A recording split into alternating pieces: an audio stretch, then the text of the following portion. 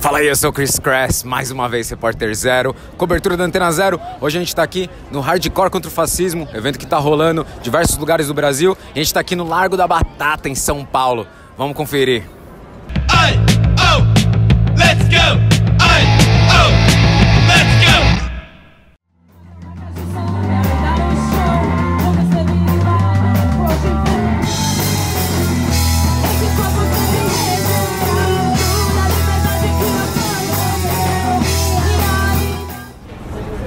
Aí, estamos com o pessoal aqui do Blast Trash, Beleza? Hardcore contra o Fascismo. Diego, conta pro- pra gente aí do, do evento, da banda. O que você...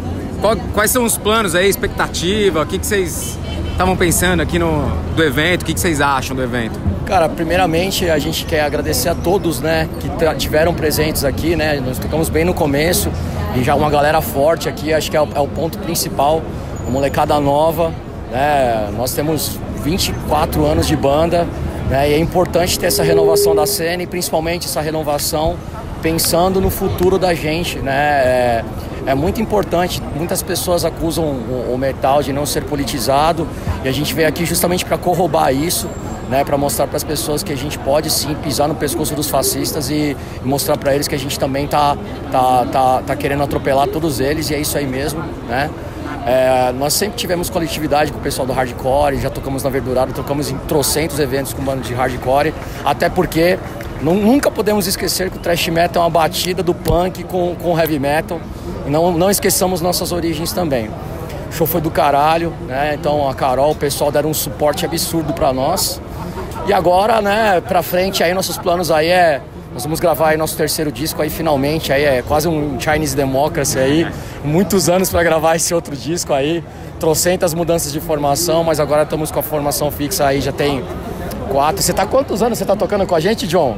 2017, 2017, né? 2017, cinco anos, né? Cinco anos, mais menos dois de pandemia, são três, mas tudo certo, né? Mas estamos aí.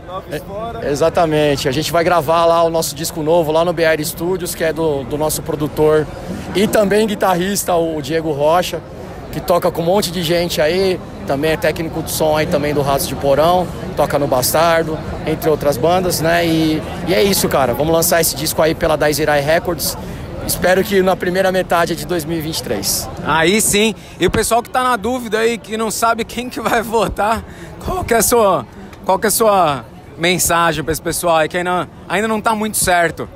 Para quem não tá certo de quem vai votar, é simples, pessoal. Localizem-se e lembrem de onde vocês vieram e quem vocês são. O voto de vocês é de vocês, não é do seu chefe, não é do seu amigo, não é de ninguém. Não sejam influenciáveis. Teçam as suas opiniões baseadas nos seus pensamentos. E também é o seguinte, nossos chefes sempre vão pensar no que é melhor para eles tá? E vocês têm que pensar no que é melhor para a família de vocês. A gente, é- a gente é periferia, a gente é pobre, então a gente tem que votar em quem defende os pobres, tá? Então a gente não tem que. O, o- o voto não é do patrão, o voto é nosso, tá? Então vamos passar por cima do fascismo votando nas urnas. Se não for nas urnas, é nas ruas. Vamos para cima. É isso, tá dado o recado. Prazer estar aqui, gente.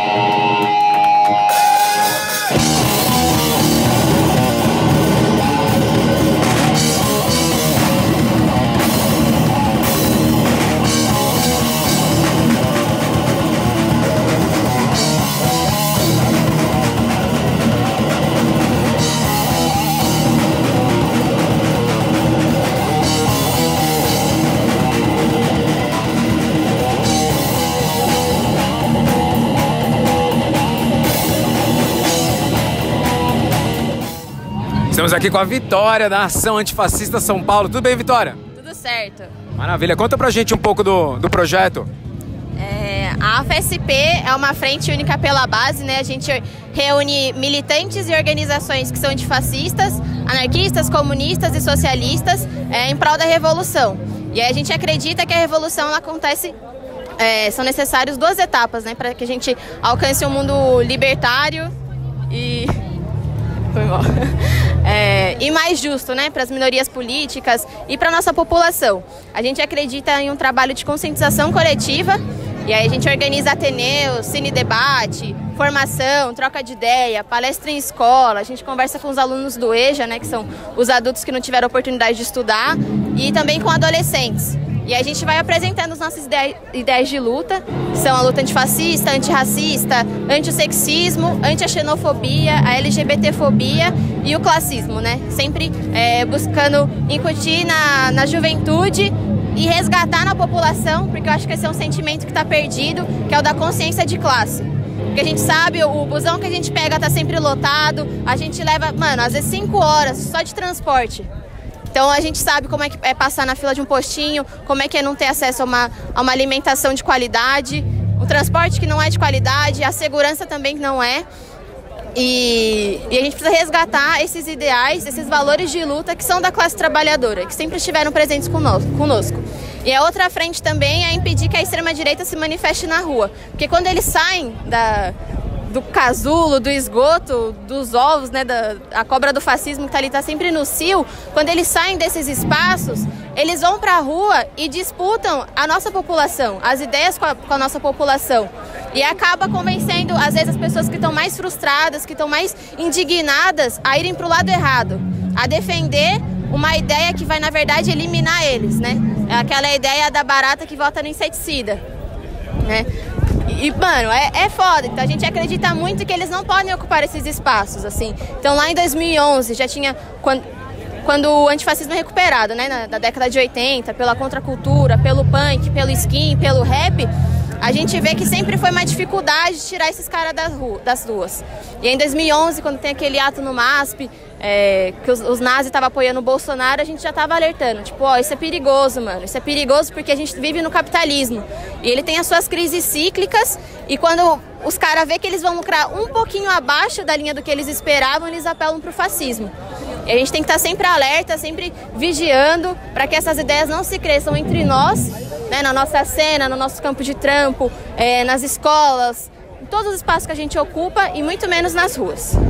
É isso, Vitória, muito obrigado. E caso ainda alguém tenha dúvida, como votar aí no domingo, qual é a sua mensagem?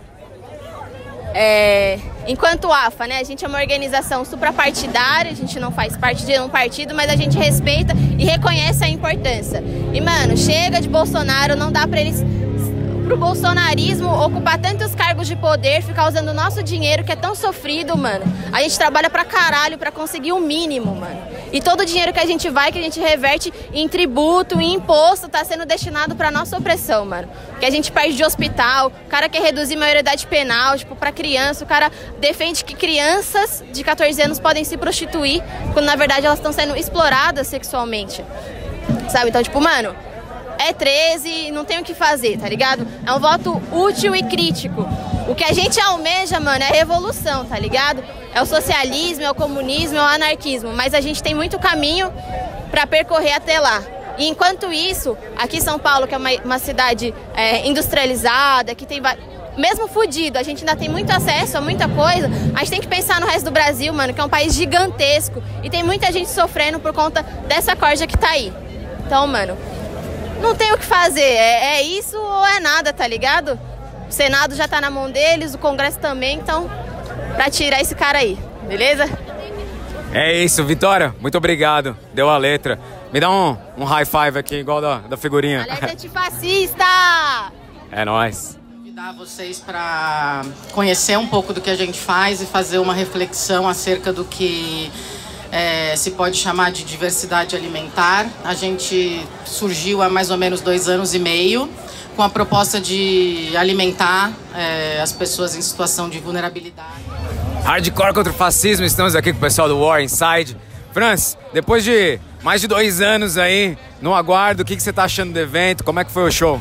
Ah, o show foi pô, bem melhor do que a gente esperava, pelo menos que eu esperava, assim, dois anos e meio que a gente não tocava. Gente, o último show foi uma semana antes do, do mundo parar. Aí a gente se reuniu agora, fez dois ensaios, veio pro show aí, foi pô, muito melhor do que a gente esperava. Entre a gente, assim, foi muito bom e a resposta do pessoal também, os amigos que colaram, foi, pô. E tô tocando nesse, voltar a tocar nesse evento que é. Isso não é um show, né? É um ato político de extrema importância, assim. Sem palavras, não tinha como. não tinha um lugar melhor pra gente voltar a tocar. Sensacional. E para quem ainda tá na dúvida, não sabe se vai votar, não sabe em quem que vota, qual que é a mensagem? Olha, é, como eu falei até na hora do show, assim, a gente está vivendo um momento extremo.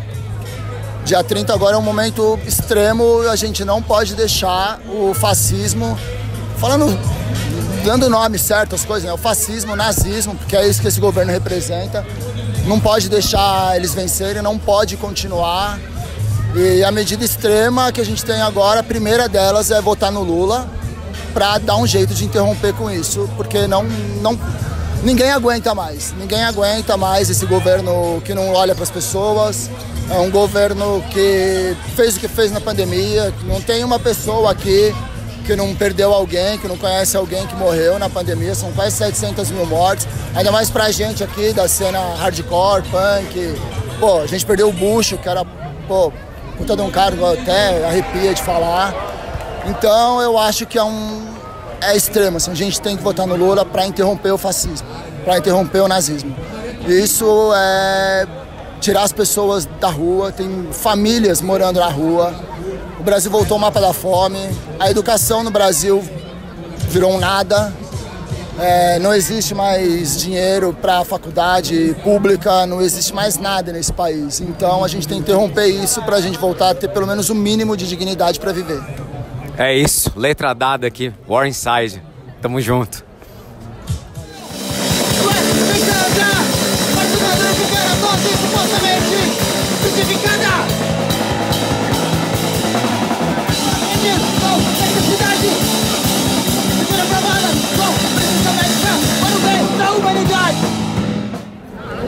Felipe Flip aqui no Hardcore contra o Fascismo. E aí? Ao vivo, bicho.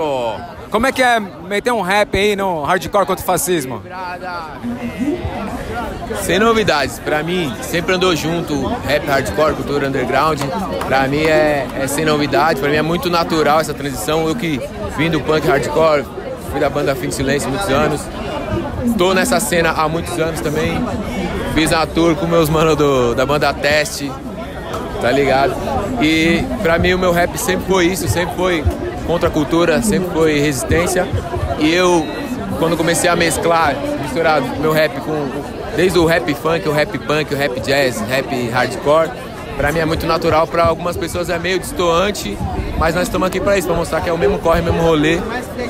Nós está no underground, a gente não é mainstream, a gente não é popstar, não é rockstar, a gente é o corre. É isso. E para quem que tá na dúvida ainda não sabe se vai votar, em quem que vai votar, qual que é a mensagem?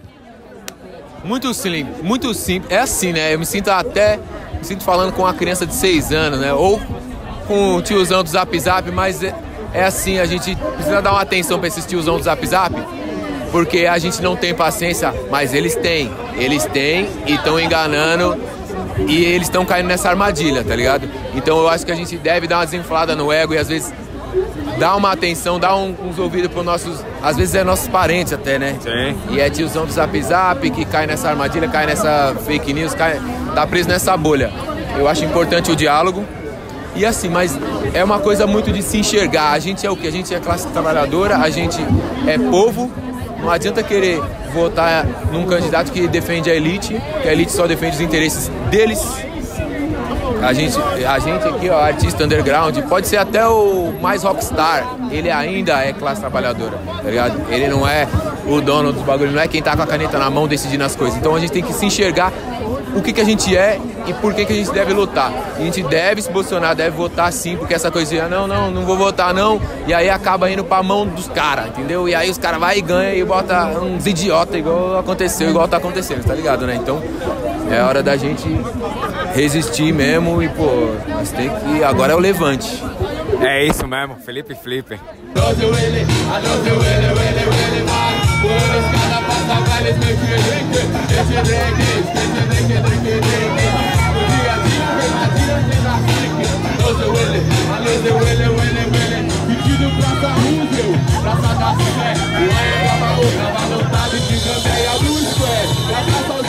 Nem conhecia aquela vista do Sumaré nem existia Nas antigas era vídeo de skate Ah, estamos aqui com Water Rats no Hardcore contra o Fascismo. Capilé, qual que é a expectativa aí, mano, pro, pro show, pro evento? O que você acha? Ah, eu acho que o importante hoje é, é- é mais do que os shows, é uma reunião de toda essa galera, mostrando primeiro qual o posicionamento de todo mundo que é envolvido nessa cena, que a gente não vai aceitar calado o autoritarismo, esse fascismo que vive no Brasil hoje em dia. E a gente vai tocar ali o que a gente puder pra só contribuir com esse evento que tá sendo lindão. Muita gente massa, você vê ao redor, um monte de coisa legal acontecendo. Pra mim isso é importante. E o importante é tentar convencer mais gente a não votar no Bolsonaro e a gente conseguir vencer essa eleição aí. Com certeza, essa já é a deixa. Pra quem tá na dúvida aí que ainda não sabe se vai votar em quem que vai votar, qual que é a mensagem que vocês têm? Não seja burro, não vote no fascismo. Fuck fascism. É isso aí, tamo junto. Water Rats. Valeu.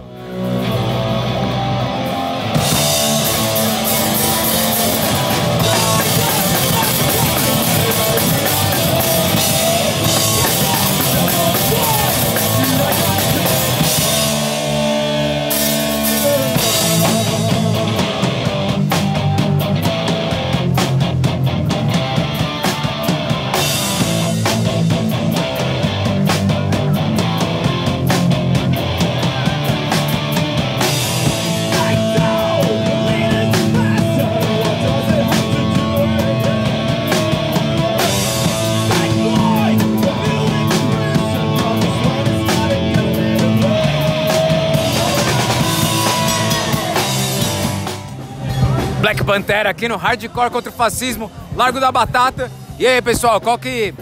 Que vocês acham aí do evento? A importância de, de ter um evento desse aqui, juntando o pessoal para uma, uma causa? Cara, é extremamente importante, ainda mais nesse momento que a gente vive. É mais que vital que o Lula vença essa, essa, essa eleição, que ele se torne o presidente do Brasil, que é um projeto de, de poder que está em jogo. Essa agenda de direita, de extrema direita não pode vencer, não pode chegar também ao executivo. Então você que pensa em votar nulo, ah, você não gosta do PT, não vota no Lula, pensa no tudo que o Bolsonaro fez e não fez por esse país. É um puta é um puta desgraçado fascista, homofóbico, racista, tudo que você pensar de ruim, a economia tá ruim, tem muita gente passando fome, então pensa nisso. E o cara ainda é pedófilo ainda, então, gente, mão na consciência. Ah, não gosto do PT, não gosto do Lula, mas bolsonarismo é um câncer nesse país e a gente precisa combatê-lo.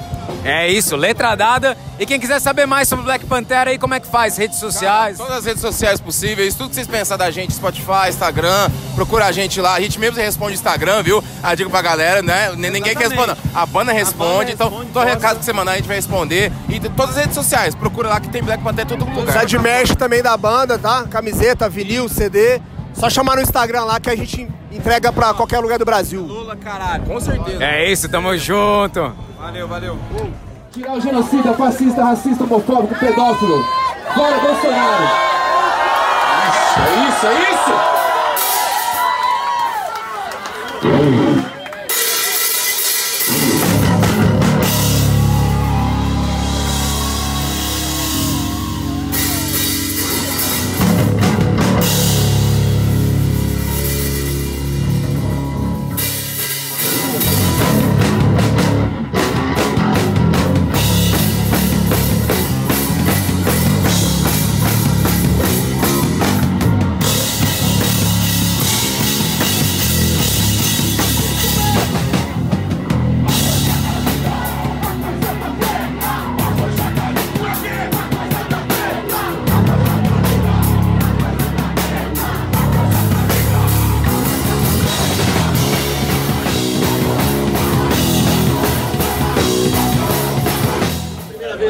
isso aí, vocês conferiram um pouco como foi hardcore contra o fascismo aqui no Largo da Batata, São Paulo. E dia 30, já sabe.